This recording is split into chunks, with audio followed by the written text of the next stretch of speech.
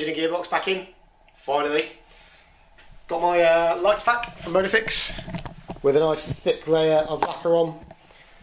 Looking pretty sweet. Let's have a look at the amber corners as well. Looking good there too. I've got the hideously expensive carbon fibre backing plate from Genvi. Weighs about as much as a gnat's pube. Need to obviously cut uh, cut it out to match in that manifold, and then that can go on. But first, I've got to do some plumbing. And I'm going to work my way from fat to thin, purely because the bigger the hose is, the harder it is to bend, and the less options you've got to route it. So this is the hose for the oil catch can. So I've taken some measurements, just got to cut this down. Going to put one end on, maybe cut it a little bit long, just to make sure. Stick one end on, get it back in the bay, make sure the measurements are somewhere somewhere near. Cut it again, put the other end on, stick it in. Result. Catch can, done.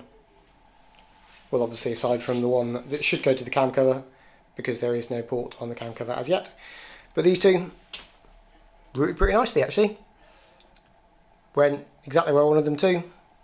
Don't foul on anything yet anyway. So yeah, pretty happy with that. Next up, oil lines.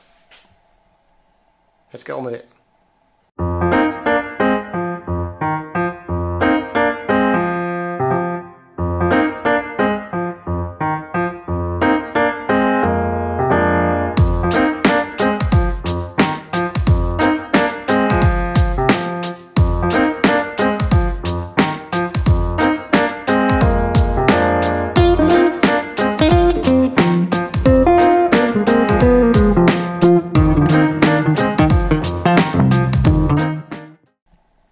That's your oil cooler lines done as well.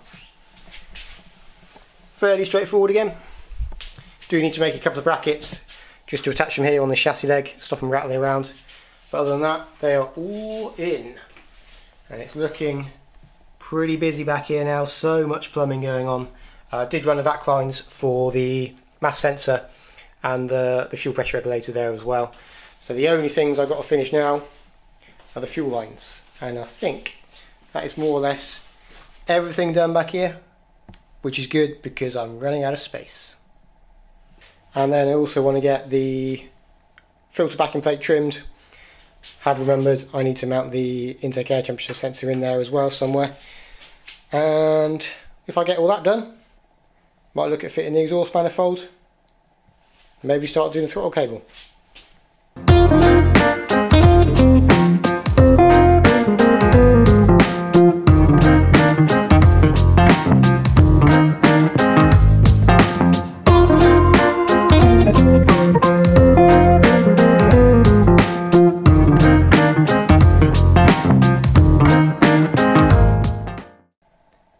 longer than expected, which isn't a great surprise because I have a real knack for making simple tasks massively complicated.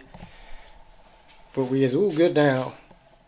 Intake air temperature sensor mounted in there, all of the bolts lock tighted, so with any luck they won't rattle their way out and into my engine. That would be rather lame. But yeah, good to go. Filter will slip on, and we'll stick it in there like so. And it fits like an absolute glove. What a lot of space.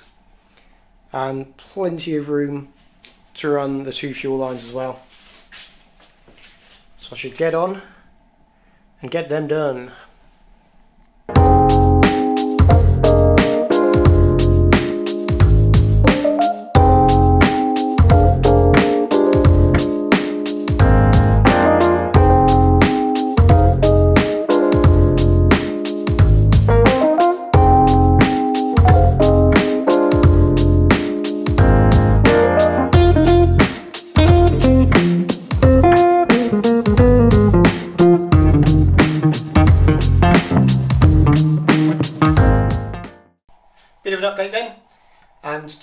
She's coming on really rather well. Got quite a lot done in the last couple of weeks.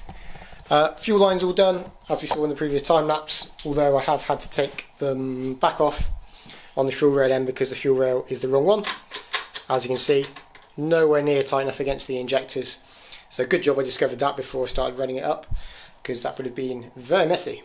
So I've contacted Genvi about that. We're going to like get the correct rail shortly. Also from Genvi, I need um, a little nipple uh, for the throttle cable, just so I can trim that off. As you see, it's miles too long. Um, but other than that, the throttle cable is all run. Just use a standard cable.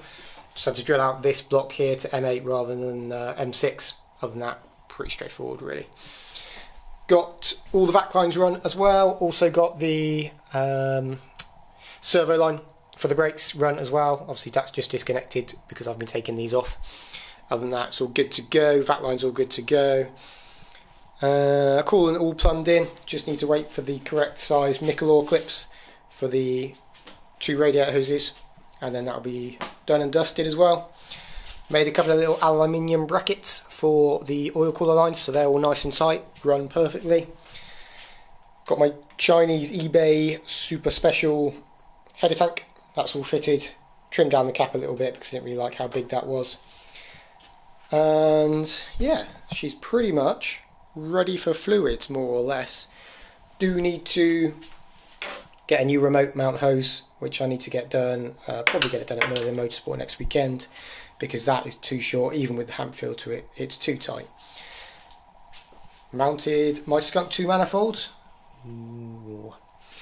Um, that went on pretty well. Do need to make a different bracket for the rear of the block because this one doesn't fit, so just going to make a little plate, weld it to that, and then it will fit. That's job for another day, and then I can start playing around making the exhaust fit. But yeah, not a great deal left to do in here really.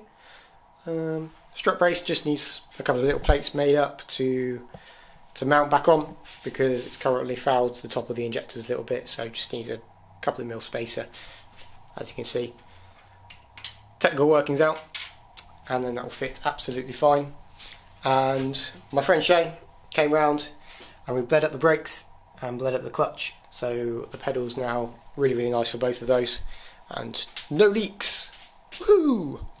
uh, which is why she's actually up in the air currently. While she is in the air, I'm going to get the wheels off to get refurbished, and like I say, might start playing around with the exhaust as well. And a little bit of an update inside.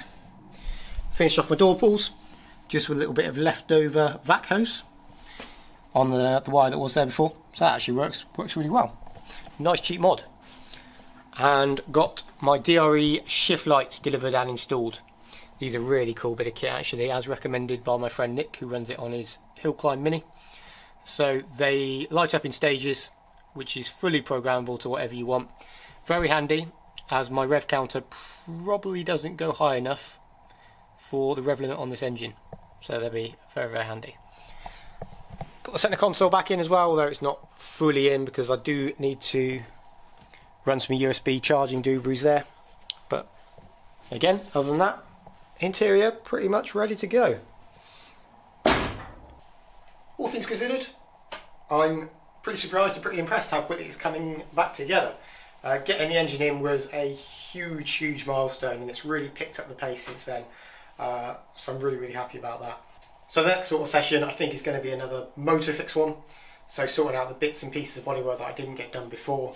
Namely, getting the carbon boot and the carbon bonnet uh, refinished, relacquered, sorting out the back bumper which I never finished before and I think that's more or less it. Then I can get those bits refitted, get the bumper refitted, get the arch liners refitted and then outside be done.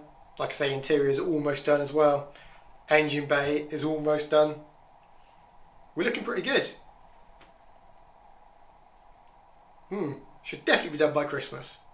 But again, not setting a deadline. And I think that'll be it for this video.